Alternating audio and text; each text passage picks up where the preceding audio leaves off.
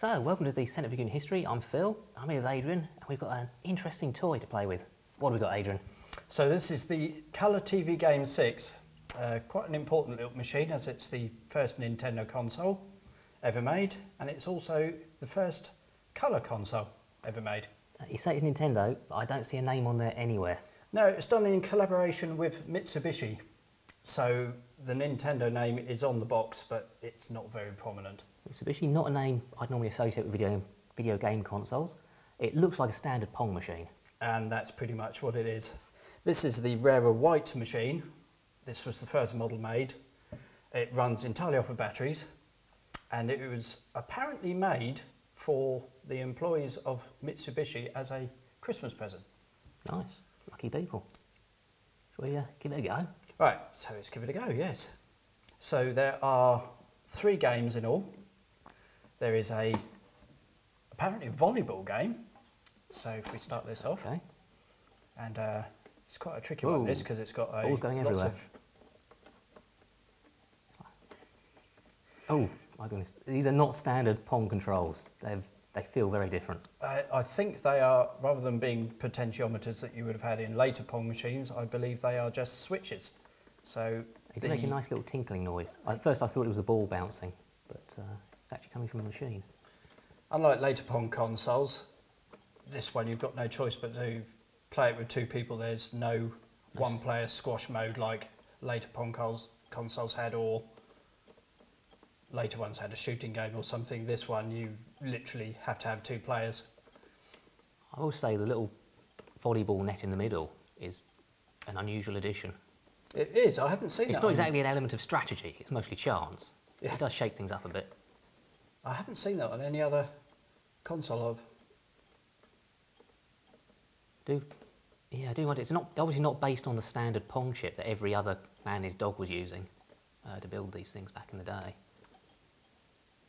And given it we've not seen it in any other Pong consoles or clone consoles, I'm assuming it's a custom jobby for Nintendo.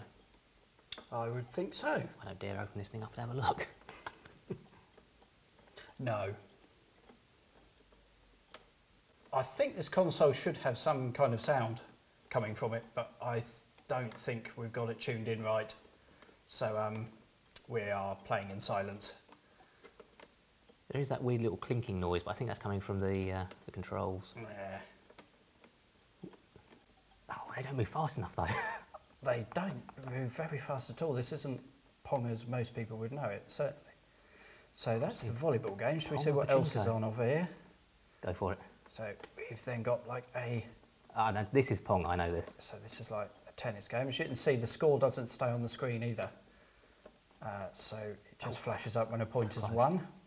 We must also apologise for the picture quality here. We've actually tried to tune a staunchly Japanese console into a British monitor and the two aren't entirely compatible. We're very lucky we've got any sort of picture out of it. Especially after I tried fixing it. Exactly, yeah. It actually feels like if you, you move the bat in a certain direction, that's the way the ball goes. So if I stay still like this, and Adrian stays still, we... And I'm, apparently I'm wrong, it just went for no reason. this game, man. So there are various other things you can do with this. Like I can give you a smaller bat. You dick. so there we go. Oh, God. You've then got to, and then I can even this up by flicking another switch and making my back just as small. Better. Which is, uh, this isn't going to end well, is it? I think this No, could no, be. I've got Ah! I think this Yeah, could end six up points ahead. Short. It seems So- sped up. Right, so just before you win here, I think it's a good time to go on to the third mode, which is Ah, apparently football. hockey. So, How explains the blue? It's ice hockey. So it's a bit of a nice hockey game going on here. And we can add another gameplay element here, which is where the name TV Game 6 comes from, because we've seen three games. But if you play each of them with this switch up, you then add A lot of a second confusion. bat. I'd like to So get which bat's mine. Yeah, so technically you have got six game variants. And um, I'm no better at this either. One more and it's all over. So yes, this was the first in the TV game series. They a couple of weeks after they released this console, they then came up with the TV game 15, which I believe gave you about 15 different more different ways to play Pong. Well, the clue's in the name, really. The clues in the name, yes. And then um, Oh, so close. they sold about a million of this console and the colour game 15 and then there were two more consoles which were the racing 112 that sold about half a million and the nintendo Bo- block breaker which is a breakout clone which again sold about half a million and the machines are all now relatively rare to get hold of in any kind of condition, let alone this white one. This is by far the least common out of all of the variants. So It's, it's surprisingly tricky to play. it is a surprisingly tricky because it just doesn't play game. instinctively like we would. I can only imagine they received a lot of returns with snapped off uh, switches. Or You, you really do have the temptation to just twist them as fast as you can, Yeah. but they don't go that at all.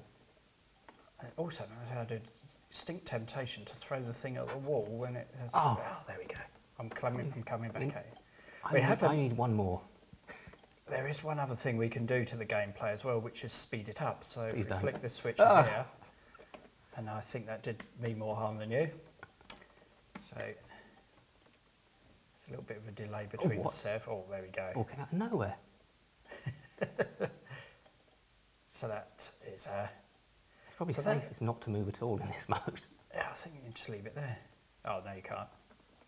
So that is the TV game 6. It's quirky and a little bit unpleasant, but I can see how you'd have really liked it back in the day. Yeah.